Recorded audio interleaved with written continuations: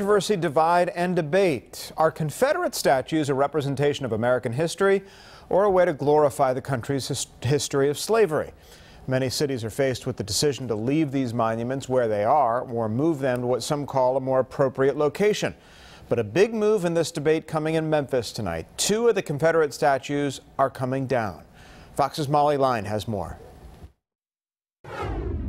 It is a momentous occasion for Memphis, but in the shadow of MLK 50, the question on our minds is where do we go from here? Two Confederate statues removed in Memphis late Wednesday night after the city council votes unanimously to sell the two city parks the statues were located in.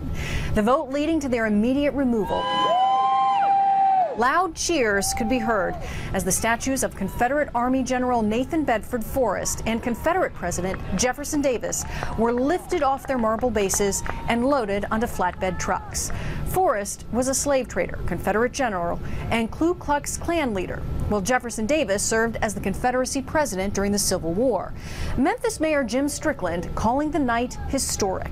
These statues no longer represent who we are as a modern, diverse city with momentum.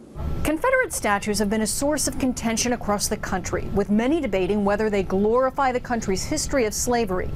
The Sons of Confederate Veterans in Memphis were in support of keeping the statues, arguing that they're an important part of U.S. history, but do not represent white supremacy. I am absolutely ecstatic.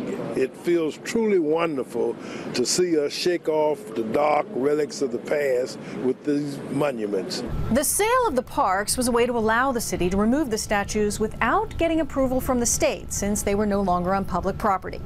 In New York, Molly Line, Fox News.